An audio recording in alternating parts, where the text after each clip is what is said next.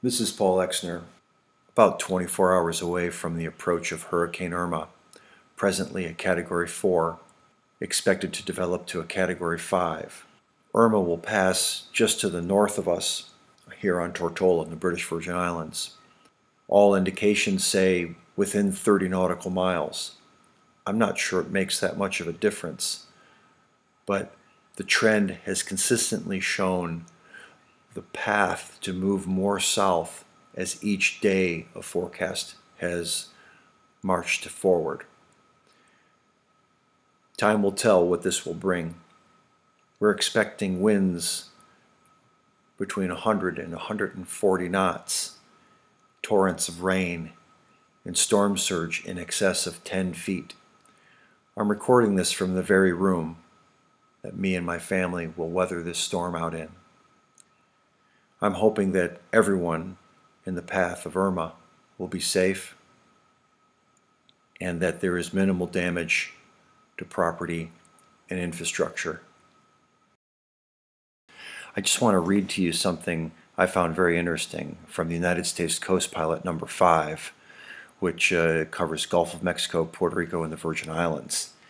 Uh, published by uh, NOAA and the U.S. Department of Commerce. I'm just going to read it aloud because it discusses the signs of approach for a tropical cyclone, which would be this hurricane. Signs of approach. While National Hurricane Center warnings provide information for locating and avoiding a tropical cyclone, it's important to know the sequence of events leading to its passage. An early indication of the approach of such a storm is the presence of a long swell, in the absence of a tropical cyclone, the crests of a swell in deep waters of the Atlantic pass at a rate of perhaps 8 per minute. Swell generated by a tropical cyclone is about twice as long, the crests passing at the rate of perhaps 4 per minute. The swell may be observed several days before the arrival of the storm.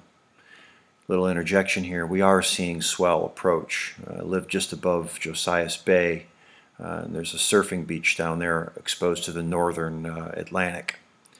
And uh, every day I've been watching the swell get a little bit bigger and pulsate in uh, long, uh, long breaks between uh, those sets. I'll continue. When the storm center is 500 to 1,000 miles away, the barometer usually rises a little and exhibits a slight pumping action. Skies are relatively clear and cumulus clouds, if present at all, are few in number and their vertical development appears suppressed. Snow white fibrous mare's tails, cirrus, appear when the storm is about 300 to 600 miles away. Usually these seem to converge more or less in the direction from which the storm is approaching. Shortly after the cirrus appears, the barometer starts a long, slow fall. At first, the fall is so gradual that it appears only to alter somewhat the normal daily cycle, two maximums and two minimums in the tropics. As the rate of fall increases, the daily pattern is completely lost in the more or less steady fall.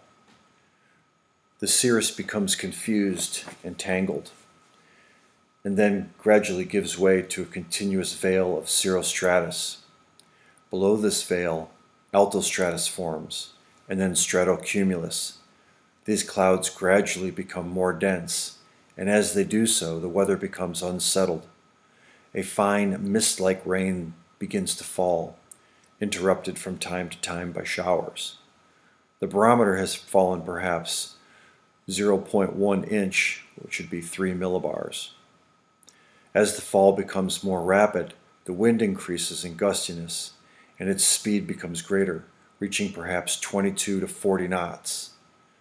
On the horizon appears a dark wall of heavy cumulonimbus, the bar of the storm. Portions of this heavy cloud become detached from time to time and drift across the sky, accompanied by rain squalls and wind of increasing speed. Between squalls, the cirrostratus can be seen through the breaks of the stratocumulus. As the bar approaches, the barometer falls more rapidly and wind speed increases.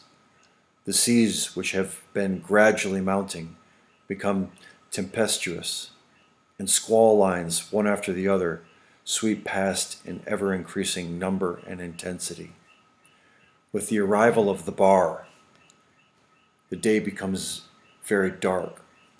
Squalls become virtually continuous, and the barometer falls precipitously, with a rapid increase in wind speed. The center may still be 100 to 200 miles away in a hurricane. As the center of the storm comes closer, the ever stronger wind shrieks through the rigging and about the superstructure of the vessel as the center approaches. Rain falls in tor- torrents. The wind's fury increases. The seas become mountainous. The tops of huge waves are blown off to mingle with the rain and fill the air with water. Objects at a short distance are not visible even the largest and most seaworthy of vessels become virtually unmanageable and may sustain heavy damage. Less sturdy vessels do not survive. Navigation virtually stops as safety of the vessel becomes the prime consideration. The awesome fury of this condition can only be experienced.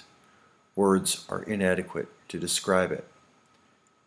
If the eye of the storm, which may be from 5 to 30 miles across, passes over the vessel. The winds suddenly drop to a breeze as the wall of the eye passes. The rain stops and skies clear to permit the sun shine through the thin cloud cover. Visibility improves and confused mountainous seas approach from all sides. The barometer reaches its lowest point. As the wall on the opposite side of the eye arrives, the full fury of the wind strikes as suddenly as it ceased but from the opposite direction. The sequence of conditions that occurred during approach of the storm is reversed and pass more quickly, as the various parts of the storm are not as wide in the rear as on the forward side of the storm.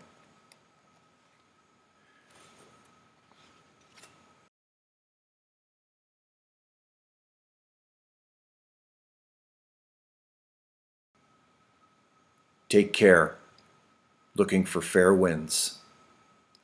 Paul Exner, signing out.